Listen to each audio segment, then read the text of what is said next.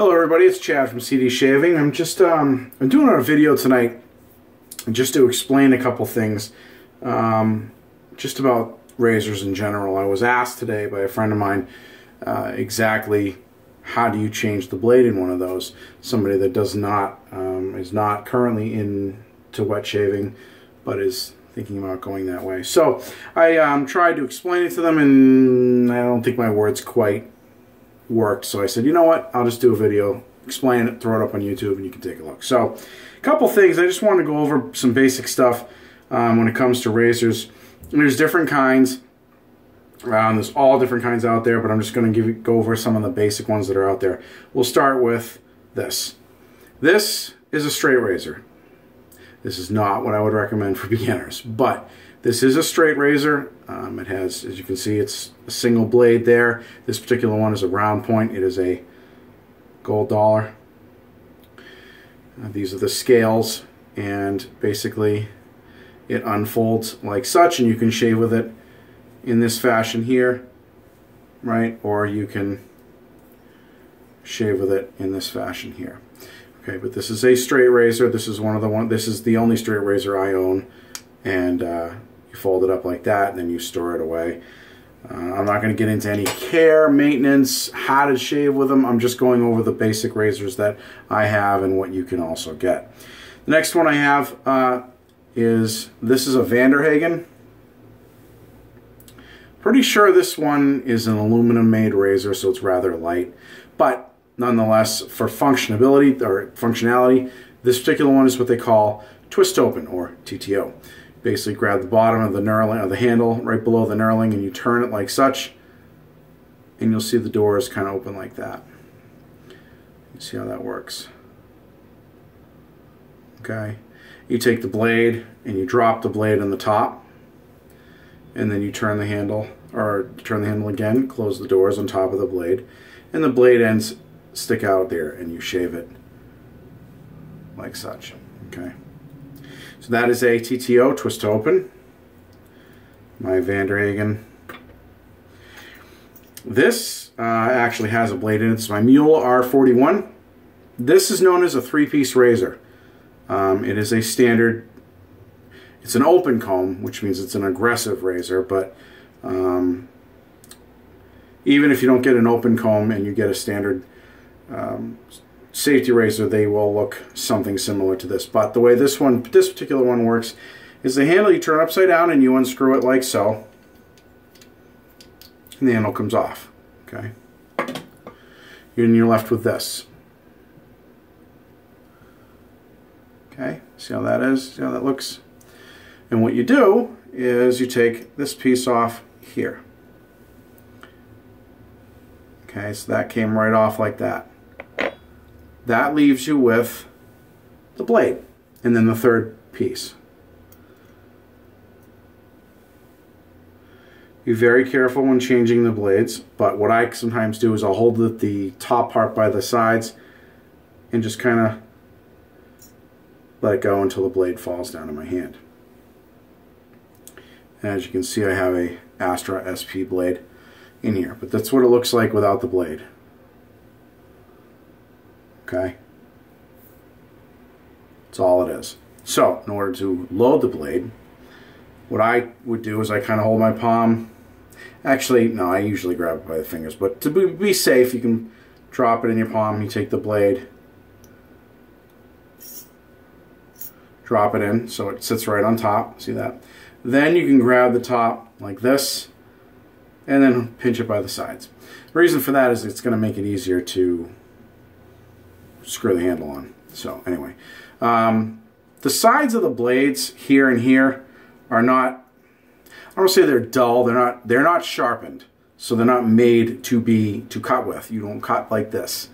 So although it, they are, they are somewhat sharp, you could, I suppose you could somehow cut yourself on it, but so just be careful when handling the blade.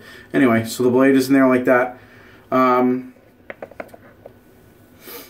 next piece goes on top like a sandwich. See how it's kind of curved? Right? So that's like that. and it's curved kind of like a smiley, well, sort of like a smiley face or an upside down mustache. You take that and you sandwich it together. So it'll look like this. Okay? And once that's in there, then you can grab all of it like this. Take the handle and just slowly screw it on. Once you feel it get tight, I usually just turn it till it really, you don't want to cinch it, but just till it doesn't go anymore and then back it off just a smidge. You don't want it rock tight in there. Now, check the blade alignment. As you can see, trying to get it to focus. You see the blade on there. And you want to make sure that the blade is even on both sides. And in this case, that's pretty darn close. So, and if it's not quite even, you just unscrew it a little bit and move it around. There's really not a whole lot of play with these. The blade adjustment with these, in my opinion, is kind of, it's not garbage, but it, there's just, there's not a lot of play. These are not meant to be adjustable. So your blade alignment is not really going to be something that, that's going to be crazy. But you, you definitely want it to be as even as you can on both sides of the blade. But you drop it in there, tighten it down. It's, for the most part, it's going to sit where it needs to be. So that's the uh, string. Now, uh, the other razor I have here, this one happens to be by RazoRock. And this is what they call a slant bar. You can see, compared to the open comb, and even the, or the twist open, that was the twist open, to the open comb, see how they're a little bit different? This one's kind of warped. Looks like this one maybe had a miss, maybe got run over or had a mishap in the factory. And this one's straight. Okay, this one's, you know, slanted like that on both sides. Reason for that um, is for efficiency. Okay, the idea is that it twists the blade when you put it in there because cut a blade cutting at an angle cuts more efficiently. Um, those of you that have ever um, cut fruit with a mandolin know that the blades are usually either like this or they're sometimes they're they're double they're like a V like that and you run the fruit up through that way and it cuts the fruit it you know slices it this operates off the same principle. The reason the blades are like this or like this is because it, it allows for more efficiency when cutting. And it's just like when you uh, if you ever take your knife and you cut through a cucumber um, you're going to slice through the cucumber. You don't just chop down. That doesn't really work all that well. You want to run that blade through and slice. This is the same idea. As you pulling down because the the blade is canted it's going to slice through the hairs not chop them. Now it's not to say that this doesn't work and this doesn't work. They certainly do. This is just thought to be more aggressive and more efficient. This one is also a three-piece razor. Handle comes off. First piece.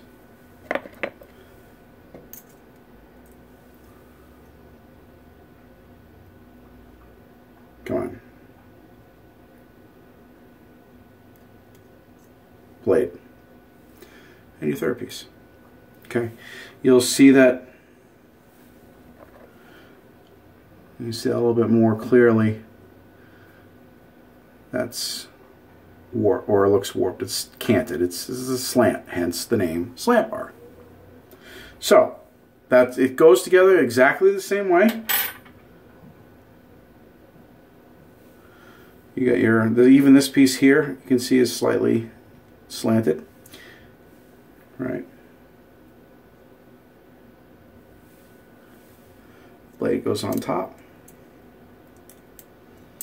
And this one I, I this particular one I use um, a feather blade because this, this razor I tend to use, I use on my head.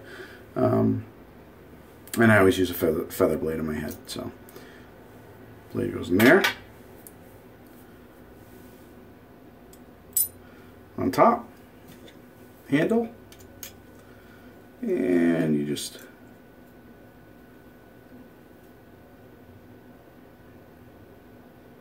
there you go when I when you know I'm not going to get into storage of these, but Again, make sure you check your blade alignment on that, and as you can see, it's pretty good. It's almost right on. So, um, just incidentally, when you do go to use one of these, because um, you won't be using one of these right off. Maybe you will. I wouldn't. That's up to you. But when you use one of these, even this, when you do store it, just store it. I always store it loose. See how that moves around? It's just to kind of let the air go through, and I literally lay it, you know, put it in my stand, or I lay it on the counter, you know, like this.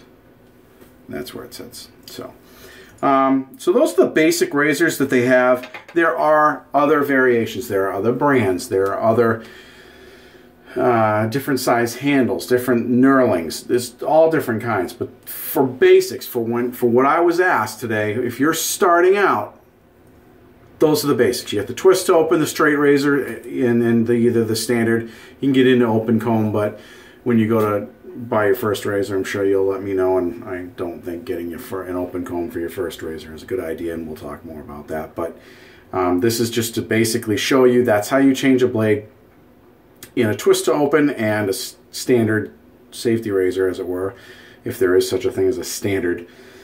Um, and the, the straight razor was just an example of an, another razor that you can purchase. So anyway, so that's just a basic intro on, on razors, uh, the ones that they have, and some how to change a blade. And, uh, you know, probably to do another review tonight on uh, new shaving soap, but we'll talk about that in the next video. So anyway, thanks for watching. Don't forget to like and subscribe, and uh, we will see you next time.